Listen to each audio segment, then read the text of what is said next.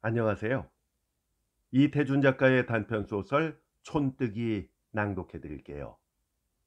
저희 채널에 이태준 작가의 주옥 같은 작품들이 이미 여러 편 올라가 있습니다. 참고하시기 바라고요. 작가에 대한 자세한 소개는 본 동영상 설명란에 들어오셔도 확인하실 수 있겠습니다. 그럼 지금부터 작품 만나보실까요? 촌뜨기 이태준 장군이는 스무 날 동안 열아홉 밤을 유치장에서 잤다. 밤마다 잠들기 전에 먹은 마음이었건만 경찰서 문 밖에 나서고 보니 그 결심은 꿈에 먹었던 마음처럼 어리둥절해지고 말았다. 젠장, 한 20일 놀고 먹지 않았게? 다리가 허정허정하였다. 그러나 그 허정거림은 속이 비었거나 기운이 탈진한 때문은 아니었다. 긴 장마를 방 안에서 투전이나 낮잠으로 겪고 오래간만에 햇볕에 나서는 때처럼 운동 부족이 일으키는 현기였다. 장군이는 여러 날 만에 묶어보는 허리띠를 다시 한번 졸라매면서 서문 거리로 올라섰다. 헤, 그새 멀고 다래가 들어와 한물 졌구나. 하면서 면소 앞을 지나려니까 벌써 풀센 겹옷을 왈가닥거리면서 촌사람 서너시 둘러섰는 게 눈을 끌었다. 그리고 대한양이면 싹이야 엄청나게 싸조니까 그게 쇳값만 해도 어디라고 하는 소리에 장군이는 발을 멈추고 건너다 보다가 무엇들을 그러나 하는 생각과 또 혹시 자기네 이웃 사람들이나 아닌가 하여 그리로 가보았다. 촌사람들은 모두 낯선 사람들이었다. 그리고 그들이 둘러서서 하나씩 손에 들고 손톱으로 긁어도 보고 손가락으로 튕겨 소리도 내보는 것은 모두 부엌대가 묻은 주발, 대접, 국자 같은 놋그릇들이었다. 면소의 사환인 듯한 아이는 사려거든 얼른 사고 돈이 없거든 물러서요. 딴 사람이나 사게. 하고 퉁을 준다. 장군이는 얼른 보아 전에도 두어 번 구경한 적이 있지만 면소에서 내놓은 경매 물건인 것을 짐작하였다. 그 사시려고 그러슈? 장군이는 면소 사환회의 퉁에도 물러서지 않고 주발을 그저 손에 받들고 들여다보는 갓쟁이에게 물었다. 글쎄 싸다니까 한번 사볼까 하오만. 하고 갓쟁이는 장군이를 힐끗힐끗 본다. 사려거든 유기 전에 가서 새 거를 사슈. 새 거를 못 살 형편이거들랑 헌 것도 살 생각 마슈. 글쎄 삼곱 아니라 오곱을 주더라도 말이오. 형세 붙이는 사람은 장만할 때뿐이지 저런 건 다 남의 물건 되기가 쉬운 거요. 언제 집달리가 나와서 저렇게 집어다 놓을지 아루? 당신은 세납 안 밀린 게로 그려? 하고 장군이가 이죽거리고 먼저 한 걸음 물러서니 그 갓쟁이도 허긴 노형 말도 옳소 하고 들었던 주발을 슬며시 놓고 돌아섰다. 장군이는 자기의 말 한마디에 촌사람들이 흩어져 버리는 것이 몹시 통쾌스러웠다. 우쭐렁하여 서문거리를 나서서는 자기의 결심, 열아홉 밤 동안 유치장에서 먹은 결심을 생각해 보면서 신장로를 터벅터벅 걸었다. 그의 결심이란 다른 것이 아니라 살림을 떠엎고 말리라는 것이었다. 살림이라야 가진 논밭이 없고 몇 대째인지는 몰라도 하늘에서 떨어져서는 첫 동네라는 안악굴 꼭대기에서 그 중에서도 제일 외따로 떨어져 있는 오막사리를 근거로 하고 화전이나 파먹고 수치나 구워먹고 덫과 함정을 놓아 산짐승이나 잡아먹던 구차한 살림이었다. 그래도 자기 아버지 대에까지는 굶지는 않고 남에게 비럭지는 하지 않고 살아왔다. 그렇던 것이 언제 누가 임자로 나서 팔아먹었는지 둘레가 백리도 더 될 큰 산을 삼정회사에서 산노라고 나서 가지고는 부대를 파지 못한다. 숯을 허가 없이 굽지 못한다. 또 경찰서에서는 멧돼지 함정이나 여우덫은 물론이요. 꽝창회나 옥루 같은 것도 허가 없이는 못 놓는다고 금하였다. 요즘 와서 안악굴 동네는 관청에서 이르는 대로만 지키자면 봄 여름에는 산나물이나 뜯어먹고 가을엔 멀구다리나 하고 도토리나 주워다 먹고 겨울에는 곤충류와 같이 땅 속에 들어가 동면이나 할 수 있으면 상책이게 되었다. 그러나 큰 산속 안악굴에서 사는 사람들이라고 해서 이 장군이네부터도 갑자기 멧돼지나 노루와 같이 초식만은 할 수가 없고 나비나 살모사처럼 삼동한처를 자구만 베길 수도 없었다. 베길 수가 없어서가 아니라 하고 싶어도 재주가 없어서였다.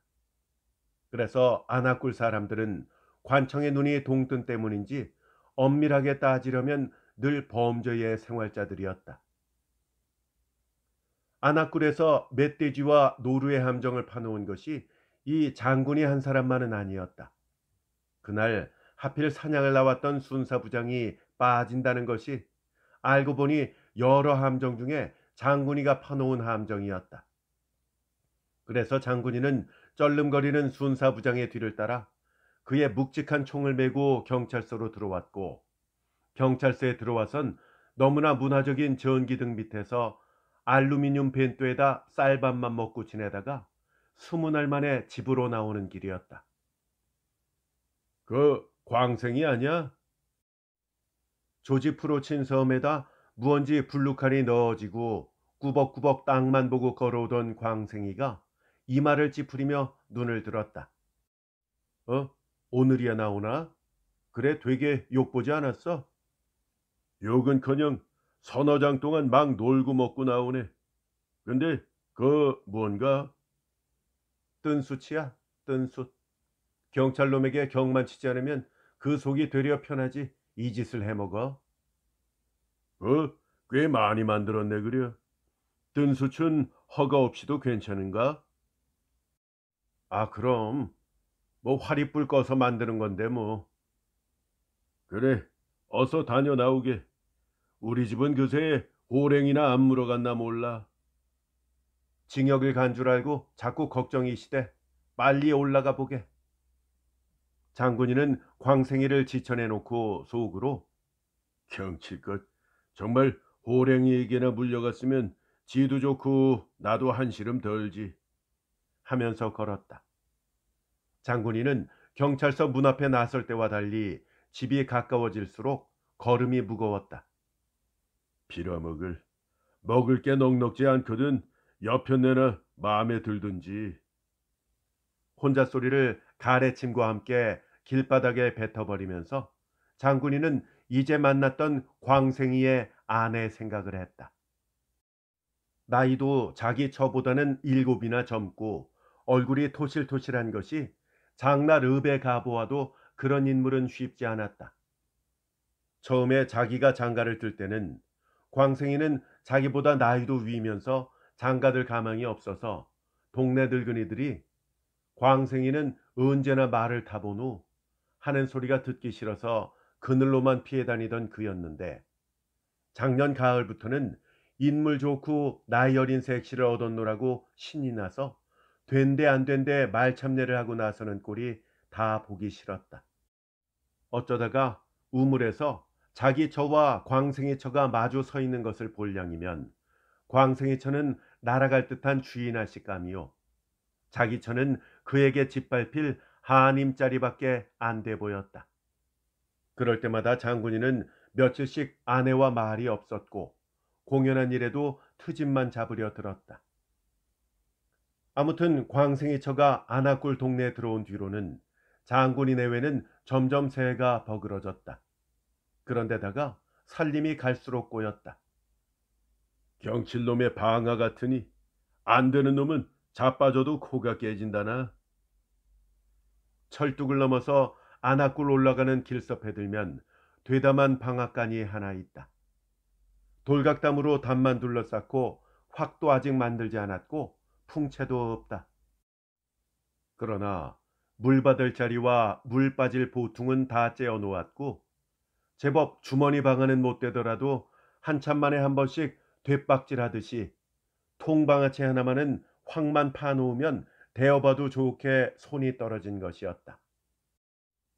장군이는 가을에 이것으로 쌀되나 얻어먹어 볼까 하고 여름 내 보통을 낸다, 돌각담을 쌓는다.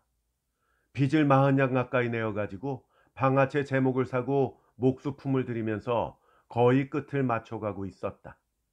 그런데 소문이 나기를 새술막 장풍언네가 발동긴가 무슨 조화방아인가 하는 걸 사온다고 떠들어들 댔다. 그리고 발동기는 하루 쌀을 몇백 말도 찌으니까 새술막에 전에 붙어 있던 물방아도 세월이 없으리라 전하였다. 알고 보니 아닌 게 아니라 장풍언네는 아들이 서울 가서 발동기를 사오고 풍채를 사오고 그리고는 미리부터 찍는 삭시 물방아보다 적다는 것. 아무리 멀어도 저희가 일꾼을 시켜 찌을 것을 가져가고 찌어서는 배달까지 해준다는 것을 광고하였다. 이렇게 되고 보니 벼 두어 선만 찌으려도 밤늦도록 관솔불을 켜가지고 북새를 떨 때 더디기도 하려니와 까부름새를 모두 곡식임자가 가서 거들어줘야 되는 물방아로 찾아올 사람이 있을 것 같지 않았다. 이래서 장군이는 여름 내 방아털을 잡느라고 세월만 허비하고 게다가 빚까지 진 것을 중도에 손을 떼고 내던지지 않을 수가 없게 된 것이다. 장군이는 걸음을 멈추고 보또랑 낸데 물이 고인 것을 한참이나 서서 내려다 보았다. 웅덩이라 바람 한 점 스치지 않는 수면은 거울같이 맑고 고요하여 내려다보는 장군이의 얼굴이 잔주름 하나 없이 비쳤다. 누가 불러보아도 듣지 못할 것처럼 꿈꾸듯 물만 내려다보고 섰던 장군이는 한참 만에 슬그머니 허리를 굽혔다. 그리고 손을 더듬더듬하여 커다란 몽우리돌을 하나 집었다. 그리고는 다시 허리를 펴서 물을 내려다 보았다. 물 속에는 잠깐 자기 얼굴을 간지리는 듯 어찌 생각하면 자기를 비웃는 듯 또한 반짝반짝하는 송사리떼가 알른거리고 몰려다녔다. 첨버덩 장군이 손에 잡혔던 몽우리 돌은 거울 같은 물을 깨뜨리고 가을 산기슭의 정막을 흔들어 놓았다. 그러나 그의 돌땅에 맞고 입이 광주리만큼씩 찢어지며 올려다보는 것은 자기 얼굴의 그림자뿐 송사리 때는 한 마리도 뜨지 않았다. 한 이틀 뒤였다. 울어서 눈이 뻐꾸기 눈처럼 시뻘개진 장군이 처가 그래도 울음을 참느라고 그 장군이가 제일 보기 싫어하던 개발코를 벌lun거리면서 철뚝을 올라섰다. 그 뒤에는 장군이 그 뒤에는 배웅을 나오는 이웃사람 서너지 따라 철뚝으로 올라섰다. 그러나 철뚝을 넘어서 좁은 머리로 해서 큰 길로 나오는 것은 장군이 양주, 즉 장군이 내외뿐이었다.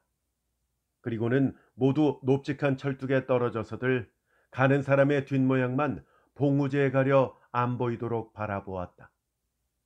장군이는 철뚝 위에 만수 어머니 석건, 광생이 석건을 거의 산모퉁에 가려지려 할 때 마지막으로 한 번 돌아다 보면서 속으로 내 길래 그래도 떠나본다 하였다. 그리고 너희는 지내니 암만 기들을 써보렴 몇 해나 더 견디나 하였다. 장군이는 안악굴에서 영영 나와버린 것이 며칠 전에 유치장에서 나올 때처럼 속이 시원하였다. 그러나 앞에 선 아내의 쿨쩍거리는 꼴을 보며 썩는 팔이나 다리를 자르는 것처럼 시원하면서도 뼛속이 저려드는 데가 있었다. 꾹 참자. 모진 놈이라야 사한다. 속으로 이렇게 마음을 다시 먹으면서 아내를 보지 않으려 앞을 서기도 하였다. 얼마 안 가서 성황당 언덕이 바라보였다. 장군이는 또 한 번 아내를 돌아다 보았다. 보퉁이를 이은 아내는 보퉁이에 눌려 나오는 것처럼 그저 눈물이 줄줄 흘러내렸다. 성황당 언덕만 올라서면 길이 갈라지는 데다. 그냥 큰 길은 장군이가 읍으로 들어갈 길이요. 바른 편으로 갈라지는 지름길은 밤가시로 가는 길인데 그의 아내가 기무아 땅인 친정으로 갈 길이다. 읍으로 해서도 가지만은 이렇게 질러가면 심리 하나는 얻기 때문이요. 또 장군이는 이왕 손을 나누는 바엔 어서 아내를 떼어버리고 혼자 가뜬한 길을 훨훨 달아나고 싶었다. 그래서 장군이는 성황당에 와서 괴나리 보찜을 짊어진 채 바위돌에 걸터 앉았다. 아내도 지척지척 따라와 보퉁이를 내려놓았다. 그리고 코를 풀더니 아나꿀 쪽을 돌아다 보았다. 장군이는 곰방대에 담배를 붙여 물면서 곁눈으로 힐끔 아내를 보고 가서 아무 소리 말고 한 이태 견뎌. 친정도 내 집이더랬지 남의 집인가? 농사 미천이나 벌어가지면 내 어련히 찾아 안 가리. 하고 담배를 뻑뻑 빨았다. 아내는 아무 대답은 없고 왈가닥거리는 치맛자락을 뒤집어 눈만 닦았다. 사방은 고요하였다. 담배 한 대가 다 타노라니까 벌에서 별을 베어 싣고 나오는 소바리가 하나 지나갔고 그리고는 까마귀가 어디선지 날아와서 성황당 가래나무 삭정이 앉더니 깍깍 짖었다. 장군이는 침을 뱉고 곰방대 통을 털었다. 어서 가. 밤까지 앞으로 질러서. 그까짓 한 이태 잠깐이지 뭐. 아나골 구석에서 굶주리는 데다 대까. 아내는 좀처럼 먼저 일어나지 않았다. 까마귀가 또 깍깍 짖었다. 장군이는 일어나서 돌팔매를 쳐 까마귀를 날렸다. 그리고 다시 앉아서 나는 읍길로 들어갈 테야. 어서 먼저 일어나. 심리도 못 걸어서 열나절씩 쉬기만 할까. 아내는 그냥 앉아서 쿨쩍거리기만 하였다. 장군이는 지난밤 집에서 하듯 또 소리를 버럭 질렀다. 이 되지 못하게끔 채 누군 하고 싶어하는 노릇으로 아나베? 장군이 저는 눈을 숨벅거리고 일어서고 말았다. 보퉁이를 다시 집어이고 비죽거리며 돌아섰다. 한참 가다 두어 번 돌아보았으나 장군이는 마주 보지 않은 채 하려 눈으론 보면서도 얼굴은 다른 데로 돌렸다. 그리고 장군이도 아내 그림자가 언덕 너머로 사라지고 말 적에는 눈물이 펑 쏟아지면서 코허리가 시큰거렸다. 그리고 목줄대기에선 울음을 참느라고 지르륵 하는 소리까지 났다. 그는 손등으로 눈을 닫고 다시 곰방대를 꺼내 물었다. 희연 한 대를 서너 모금에 다 태워버리고 저도 한번 아나꿀 쪽큰 산을 바라보면서 일어섰다. 횡억해 성황당 언덕을 올라섰다. 벌에는 군데군데 사람들이었다. 그러나 장군이 눈에 제일 먼저 띄는 것은 이제 겨우 큰 길에서 떨어져 방충머리를 돌아가고 있는 아내의 그림자였다. 장군이는 발을 멈추고 멍하니 서서 바라보았다. 바라보고 섰노라니까 아내도 남편이 자기를 바라보고 서 있는 것을 돌아다 본 듯이 아내 그림자도 움직이지 않고 한자리에 박혀 있었다. 장군이는 또 성이 버럭나서 옆에 있기나 한 것처럼 가 어서 하고 손짓을 하였다. 아내는 남편의 손짓을 알아챈 듯 그제야 다시 움직였다.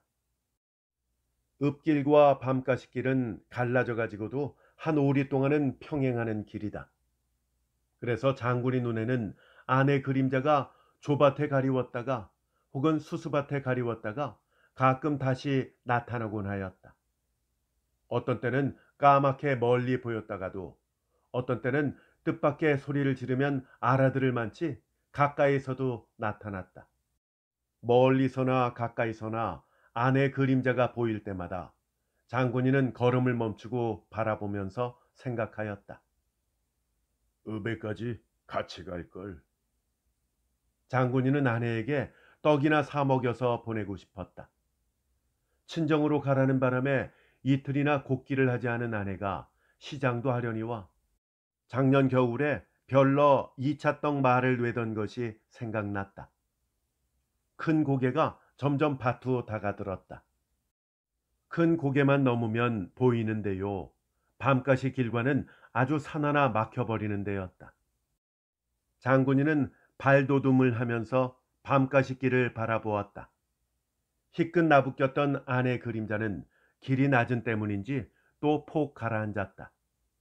장군이는 미리 우뚝한 돌각담 위로 뛰어 올라가서 아내의 그림자가 다시 솟아오르기를 기다려가지고 여봐, 저 여봐 하고 소리를 질렀다. 아내도 남편의 그림자를 놓치지 않으려고 건너다 보며 가는 것이 아니라 이내 걸음을 머물렀다. 장군이는 또 소리를 질렀다. 이리 좀 와, 이리 좀.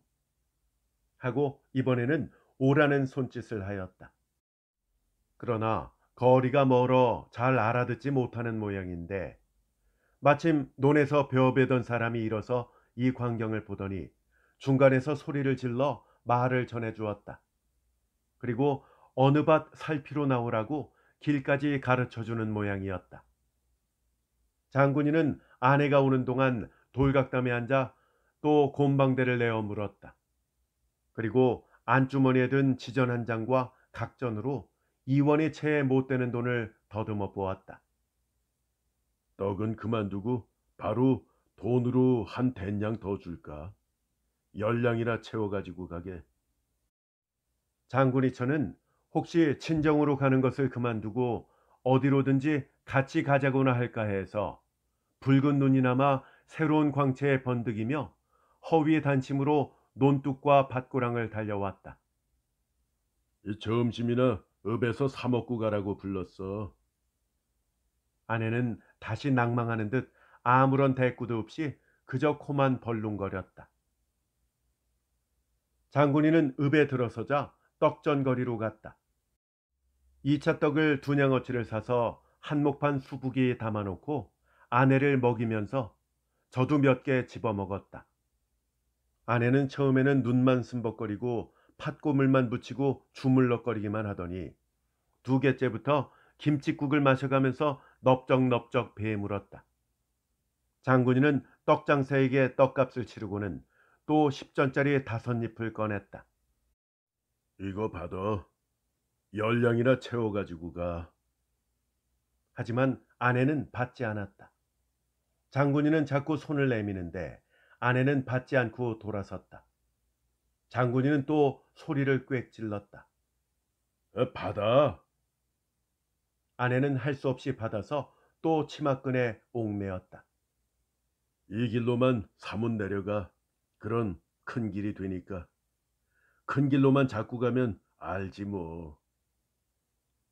아내는 눈물에 흐린 눈으로 남편을 돌아보느라고 몇 번이나 남과 부딪히면서 아래 장거리로 타박타박 내려갔다.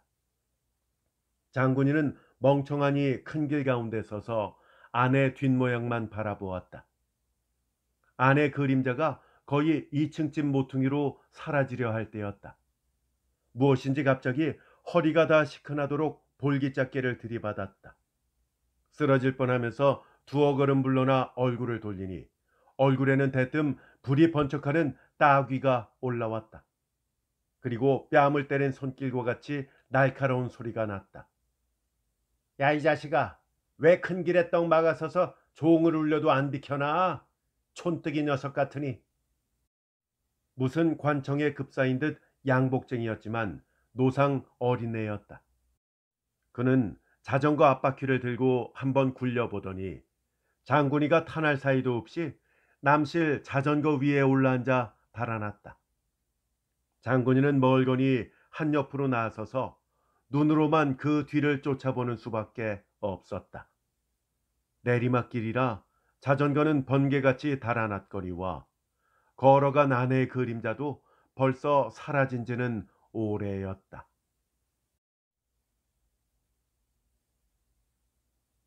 이태준 작가의 단편 소설 촌뜨기였습니다. 재밌게 잘 감상하셨습니까? 이 작품과 관련해서 역시 이태준 작가의 꽃나무는 심어놓고 그리고 밤길 이 두 편 추천드립니다. 그리고 이태준 작가의 작품 가운데 서민들의 이야기를 다룬 것들이 많은데요. 그 중에서 손거부, 달밤 두 편 더 추천드립니다. 앞서서 말씀드린 대로 이태준 작가의 작품들이 무척 수작들이 많은데 저희 채널에 이미 여러 편이 올라가 있습니다. 재생 목록에 들어와 보시면 검색해 보실 수 있고요. 이태준 작가뿐이 아니라 여러 작가의 수많은 작품들이 벌써 올라가 있습니다. 한번 둘러보시고 아직도 듣지 못한 작품들이 있다면 꼭 감상해 보시기를 추천드립니다. 끝까지 함께 해주셔서 대단히 감사합니다. 다음에 더 좋은 작품으로 함께 할게요. 안녕히 계십시오.